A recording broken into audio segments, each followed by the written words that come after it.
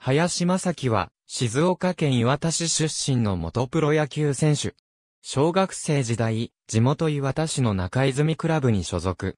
京誠高等学校では、3年夏の県大会で骨折しながら勝ち進むも、決勝で浜松工業高等学校に敗れ準優勝。その後、1997年のドラフト会議で、広島東洋カープから3位指名を受け、入団。2000年に再度スローに転向。2001年に1軍で初登板を果たした。2003年にセリーグ初となる1球でプロ初勝利を飾る。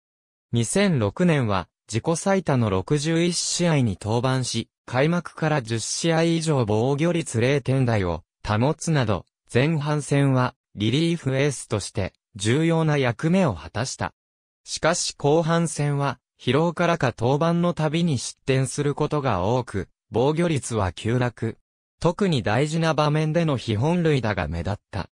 2007年は中継ぎとしてリードしている試合に多く登板するも、終盤は前シーズン同様に度重なる連投から制裁を書き、打ち込まれることが目立った。2008年は5月30日に登録抹消となり、2軍で調整していた7月に、肋骨骨折による、戦線離脱となる。そのままシーズンを終え、17試合の登板に止まった。2009年は、オープン戦で結果を残し、開幕から1軍に帯同。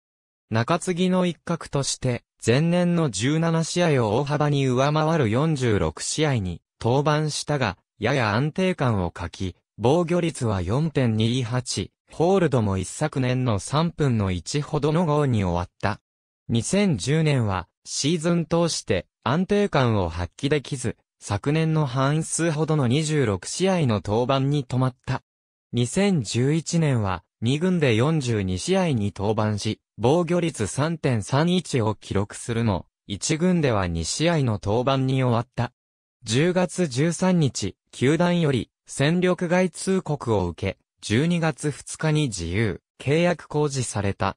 現役続行を希望し、トライアウトを受けたものの、獲得を目指した球団はなく、12月8日に現役引退を発表した。